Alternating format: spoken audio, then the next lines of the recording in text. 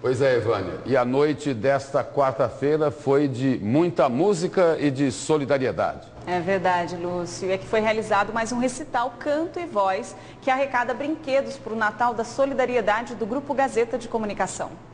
Em sua oitava edição, o recital levou para o palco o clássico e o popular, cantados por jovens talentos, empresários, médicos e outros profissionais, amantes da música.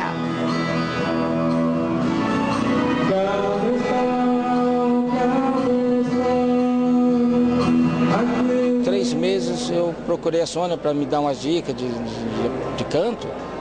E de repente ela me convidou para vir aqui e eu estou aqui. A iniciativa foi assim, por que não dar a oportunidade para as pessoas que têm talento e que vão buscar aula de canto normalmente lá dentro do consultório para aprimorar suas vozes, por que não fazer com que eles percebam que eles podem ter talento para cantar, né? E aí surgiu a ideia de fazer um recital diferenciado. Você já ouviu falar que a música faz bem ao coração? Cardiologista Vânia Carvalho recomenda e também subiu no palco e soltou a voz.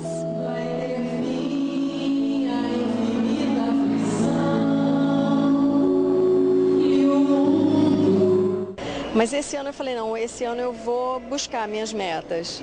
Aí encontrei a Sônia, porque a gente trabalha com PNL juntas, e aí resolvi buscar isso. E comecei. E agora estou aqui. Primeira apresentação. Primeira apresentação. Estou trimilicante, mas estou bem. Além de muita música, quem prestigiou o evento também fez um gesto de solidariedade. Isso porque parte da renda obtida com a venda de ingressos será revertida para a compra de brinquedos destinados para a campanha Natal da Solidariedade, realizada pelo Grupo Gazeta de Comunicação.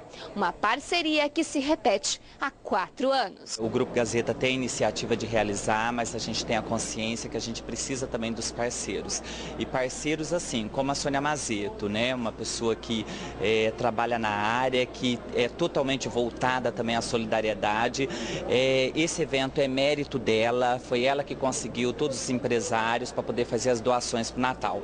De brinquedo, nós já estamos já praticamente com meta batida, né? Agora falta de alimento. As pessoas que vêm aqui no espetáculo, que compram convite, elas têm que imaginar que é muito além disso aqui.